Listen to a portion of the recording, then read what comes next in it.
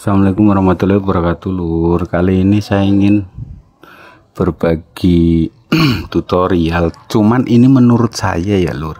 Berbagi tutorial gimana caranya pemasangan peredam kap mesin.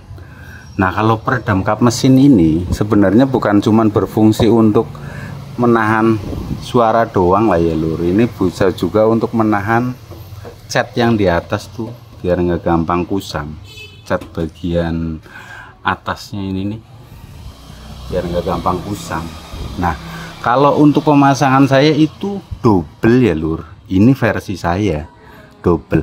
Nah intinya tuh bagian sini masuk semua nih lur untuk pinggir. Nah ini kan kalau dipasang double masih ada spare sebenarnya lur.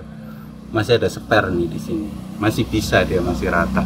Nah kalau bagian pinggir sini ini saya masukin ke dalam ya lur masukin ke dalam semua masukin ke dalam. Ya lebarnya sekitar seginilah nah karena ada lemnya cara masukin ke dalamnya kan susah lur.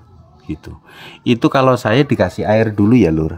Jadi misalnya ini lemnya sudah saya buka ya lur. Tapi udah saya mel udah saya mal dulu gitu udah pasti ukurannya baru saya kasih air gitu kan. Jadi nggak licin dia lur. Eh nggak lengket. Kasih air gitu baru dimasukin ya lur tuh. Dimasukin. Nah untuk finishingnya yang paling atas itu jangan dimal dulu. Kalau saya kalau saya itu bagian dalam sini saya sobek dulu terus kancingnya saya bikin dua nih atas sama bawah. Setelah itu lemnya itu saya buka pelan-pelan ditempelin pelan-pelan. Ntar bagian sini masuk lagi sini masuk lagi. Udah selesai. Untuk finishing sini terpakai cutter aja pelan-pelan nggak apa-apa. Tapi jangan sampai kena body usahain ya lur ya. Kalaupun mau kena body ujung cutternya itu ditumpulin aja dulu ya lur. Jadi nggak terlalu baret banget.